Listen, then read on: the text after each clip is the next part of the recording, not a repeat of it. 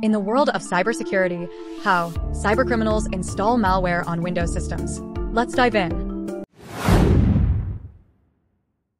We'll break down the process in a simple way.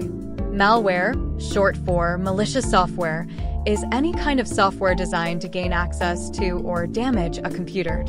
Malware like Trojans, spyware, worms, viruses, ransomware, banking malware, or many more spread across the world. Today, it become one of the major issue of the world. Almost 90 million new kinds of malware registered and new malware found every day. So how? Hackers install malware in Windows. I, I explain one way that is email phishing. Cybercriminals send malicious link through mail.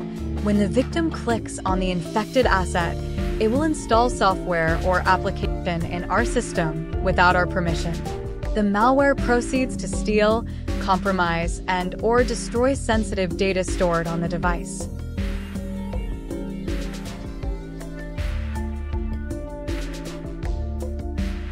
There are many ways to protect your Windows.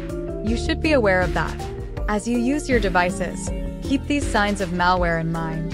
Early malware detection and elimination of malicious software can save money. It may be sign that you will notice Screen freezing, blue screen error. Random Wi-Fi disconnects. Open multiple windows on one click. You can stop by updating Windows regular update which Microsoft released every month. The second way to protect your system, be aware about suspicious link which can be received you by many ways.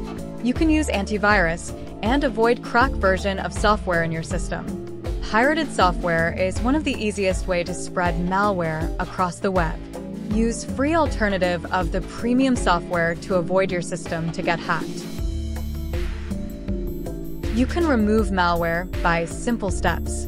The first step is disconnect your PC. Open your antivirus and scan full system.